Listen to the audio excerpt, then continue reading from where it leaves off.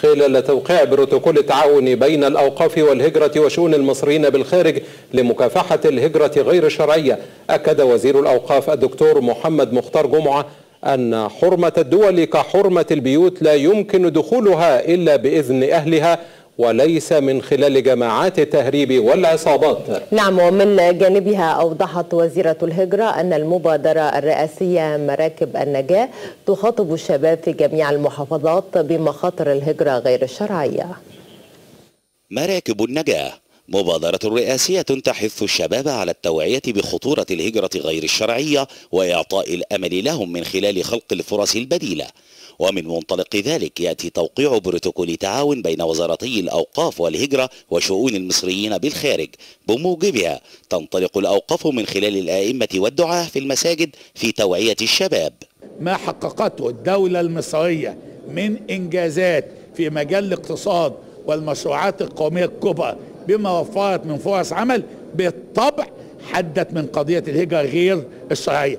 اللي بنحذر منه الشباب إنك ممكن تنصب عليه بعض جماعات التطرف وبعض سماسات التطرف على إنه سيذهب إلى فرص عمل وفي الواقع تزج به لعصابات القتل وميليشيات القتل والدمار فيدخل بحيث لا يستطيع أن يخرج من هذه الأمور. التحذير من خطر الوقوع في براثن الجماعات الإرهابية من خلال الهجرة غير الشرعية وعدم الانسياق لما يقال لهم من تجار البشر فيما يتعلق بمحاولة الدخول إلى دول أخرى دون الحصول على إذنها.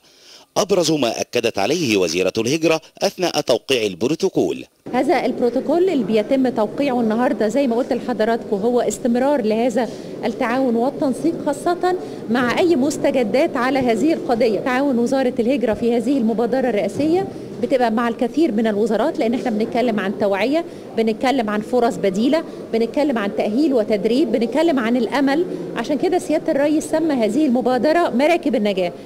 وأخيرا بالنظر إلى ما حققته الدولة المصرية من إنجازات في مجال الاقتصاد والمشروعات القومية الكبرى التي أسهمت في الحد من الهجرة غير الشرعية من خلال توفير فرص عمل للشباب خاصة نجد الشروع من الدولة في مختلف الاتجاهات للقضاء على تلك الظاهرة. من مقر المجلس الأعلى للشؤون الإسلامية وليد هيكل التلفزيون المصري.